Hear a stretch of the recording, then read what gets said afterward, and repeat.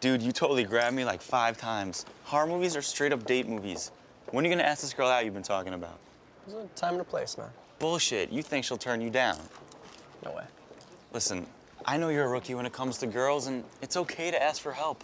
I'm here for you. Such sensitivity. I'm sure the uh, freshmen eat that up. Come on. I'll be her. Ask me out. All right.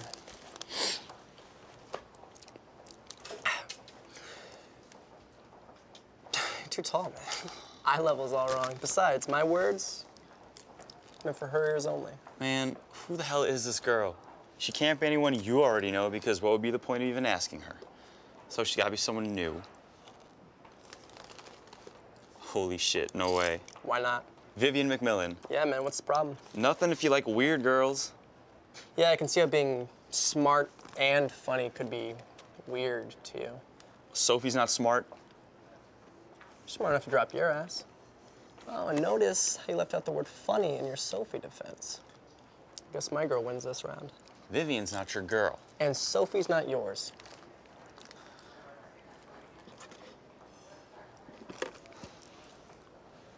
Wanna grab some pizza? Yep. Cool. I wouldn't be so sure about that. You haven't really seen me in anything. That's true. You could totally bomb. But I doubt it. I'm sure you're great. Mm, yeah, well, I have enough people telling me that I'm great. I need more people telling me that I got what it takes to make it. My parents are always on me. You work hard, you can make it, Archibald. But I'm not sure if they're cool with the whole comic book thing. My mom's always been supportive. Except I think she thinks I work too hard sometimes. Wow. Can I come live with you? She's not that supportive. but she was mad happy to hear I was getting out of my room and going on a date. Oh. I love your mom. Well, I think she's just worried about me missing out or whatever. But I don't think about that stuff. And that's what I like about you. You have plans way beyond what to do on the weekend. It's just hard sometimes, you know? Yeah. And my mom thinks I'm stressed too much. I can see that. You can? Why? Am I walking around the halls looking like a crazy person? No. You just, you want big things, and it's not always easy to deal. I get that. So, what do you do? You know, I draw mostly. Sometimes I just think about you.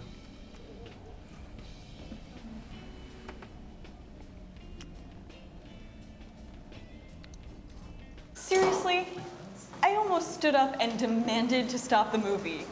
They were too beautiful for human eyes. We should not gaze upon them another moment. Her skin. His perfect and exquisite nose. I was thinking butt. I was thinking you were thinking that. okay, but doesn't their painful adorableness undermine the character flaws? Like the kind real people have. I'm totally turned on by a person's flaws. I know, right? What the fuck? Why is everyone so afraid to go deep? Uh, What's gonna happen? I mean, big shocker. Humans aren't perfect. Oh my god, that is so not what I would do. You don't know that. You can't really say. Hey, Oh, hey. Let's ask them.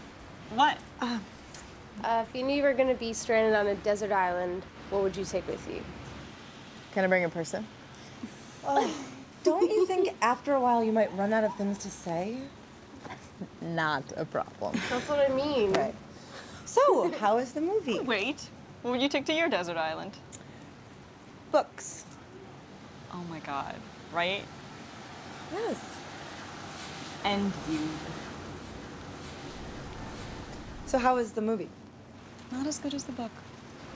But hotter. You want to catch the 10 o'clock? Sure. Sounds good. Okay, well, see ya.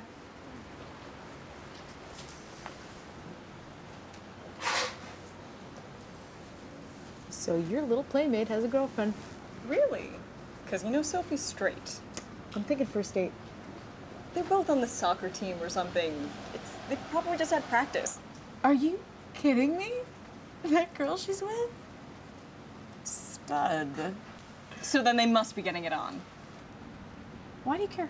I'm just saying, why do you have to jump to that conclusion? Why can't they just be friends? Maybe she's experimenting. Gay until graduation? It's a thing. Well, it's a completely lame thing. They look pretty tight. If Sophie were going to, like, What? nothing. I don't know, it's just weird. Wish it were you? No, really. Spill it. Did you ever have feelings for Sophie? What, like, you never had a thing for a straight chick before you met me? Like, you'd do anything about it, or like the feelings would come back just because you saw her walking down the street all chummy with the cutest little dyke in the world? Wow. You really did like her. Can we just go somewhere and talk about this later? I have to know. I was 12. I wasn't sure how I was supposed to feel about a lot of things. And she was part of my confusion. Now she's part of mine.